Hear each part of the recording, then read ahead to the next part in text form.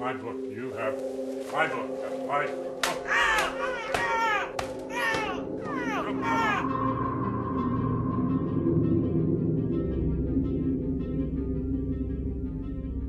If you have to make a report, it's natural to wonder what happens next.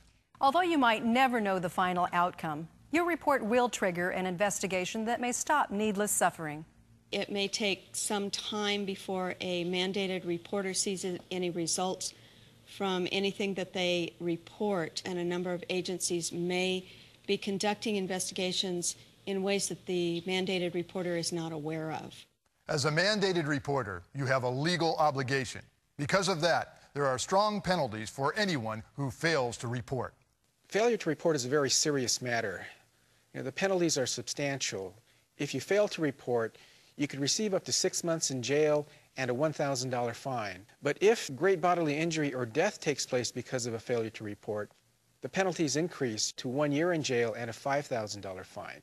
And we as a society are taking this very seriously, and we will move forward to prosecute for failure to report.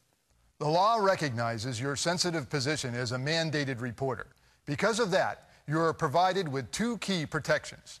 The first is immunity from civil and criminal liabilities. If an employee reports something, their employers can't do anything to them in retribution, uh, that their employers would be breaking the law if they did that. The law strictly prohibits the facility or the employer, if you will, from taking any action against them.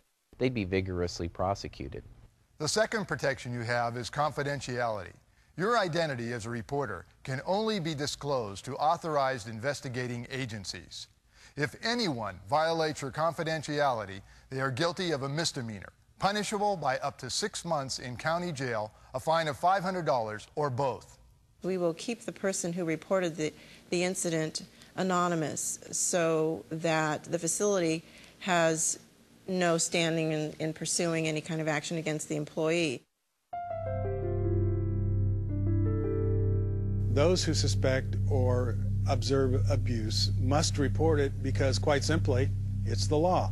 The law says they are required and mandated. If you work in a facility, you are a mandated reporter. That means if you don't report, you're breaking the law and you can be arrested. The law goes hand in hand with the employees, what should be their mission. That if there's abuse, they should be part of the team of people that are trying to protect the elders. I tell them all to report everything and anything they see. If they have a doubt, report it, because it's better reported than not reported at all. Unless you get involved, the abuse will continue, or the person or facility will get away with it. And the person has an obligation when they see abuse to act on it. If it was their own mother or their own um, brother that this was happening to, would they want someone to overlook that? Mandated reporters truly are the first line of defense for us. Unless mandated reporters come forward, these things will never come to light. We will never put an end to abuse and stop this increasing trend. It's your legal duty to report. By reporting, you are following the law. By not reporting, you are breaking the law. It's that simple. The purpose is clear to protect those who can't protect themselves. Everyone has the right to be safe and secure in their own home. And for many, a long term care facility is their home. Most residents are frail. Many can't speak for themselves. And many more may not even comprehend that they are being abused. Helping protect them from agony, pain, and suffering is your responsibility.